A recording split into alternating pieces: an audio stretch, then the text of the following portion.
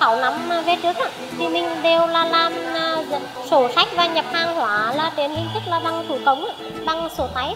Thì là nó cũng khá là mất nhiều thời gian nhiều khi mình cũng khó kiểm soát. Đặc biệt là nhiều khi lúc mình mà đi vắng á, thì là hàng hóa nó cũng sẽ khó khó kiểm soát nhân viên.